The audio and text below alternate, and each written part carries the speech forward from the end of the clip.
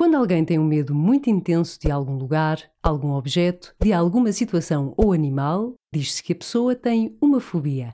Uma fobia específica a aranhas e outros animais da classe dos aracnídeos, como por exemplo os escorpiões, chama-se de aracnofobia. A aracnofobia é um dos medos mais comuns.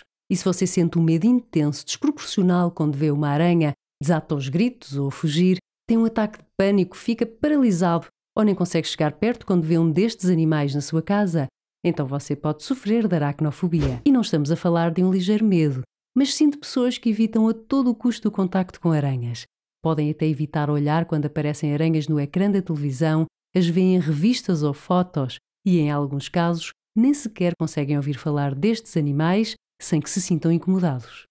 Ou seja, esta fobia, este medo irracional, afeta a vida das pessoas e causa prejuízo significativo. Por exemplo, evitam todos os sítios onde provavelmente encontrarão aranhas, portanto, evitam ir a sótãos, caves, certos espaços de jardins ou florestas e são incapazes de ir acampar. É comum existirem aranhas em casa, portanto, também é possível que verifiquem os próprios quartos e outros espaços da casa para terem a certeza que não existem aranhas por perto. Há várias teorias que tentam explicar o porquê de tanta gente ter medo de aranhas. Numa delas defende-se que esse medo advém do próprio processo de evolução da nossa espécie.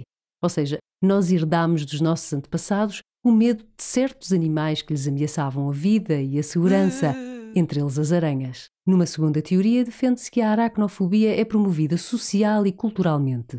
Desde sempre que nos é passada a ideia de que as aranhas são perigosas, que nos devemos afastar delas porque nos podem picar e ameaçar a nossa saúde e a nossa vida.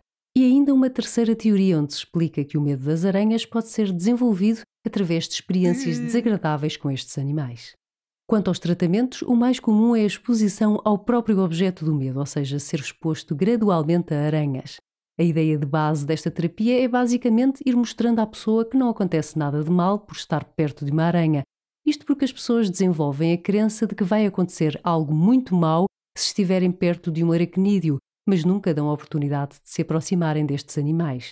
Assim, gradualmente, de uma situação menos estressante até situações de maior realismo e mais causadoras de stress, vão tendo a oportunidade de se aproximar e testemunhar que nada acontece.